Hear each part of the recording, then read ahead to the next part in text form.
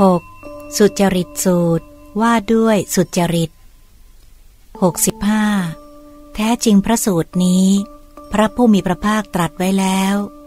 พระสูตรนี้พระอรหันต์กล่าวไว้แล้ว ข้าพเจ้าได้สดับมาอย่างนี้ ภิกษุทั้งหลาย สุจริตสามประการนี้ สุจริตสามประการอะไรบ้าง คือ 1. กายสุจริต ความประพฤติชอบด้วยกาย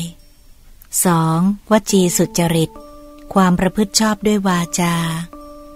3. มโนสุจริต ความประพฤติชอบด้วยใจ ภิกษุทั้งหลาย สุจริตสามประการนี้แล พระผู้มีพระภาคได้ตรัสเนื้อความดังกล่าวมานี้แล้ว ในพระสูตรนั้น จึงตรัสคาถาประพันธ์ดังนี้ว่า บุคคลผู้มีปัญญาละกายทุจริตวจีทุจริต มโนทุจริต และอกุศลกรรมอื่นๆ ซึ่งประกอบด้วยโทษได้แล้ว ไม่ทำกุศลกรรมไว้ทำแต่กุศลกรรมไว้มากมาย หลังจากตายแล้วจะไปเกิดในสวรรค์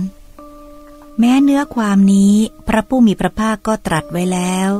ข้าพเจ้าได้สดับมาอย่างนี้แล สุจริตสูตรที่หกจบ